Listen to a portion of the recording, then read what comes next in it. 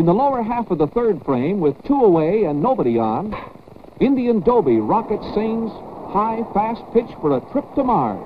A lethal wallop more than 400 feet into the right field cloud. Doby's round trip is the first home run of the series. Now the tribe leads two to nothing.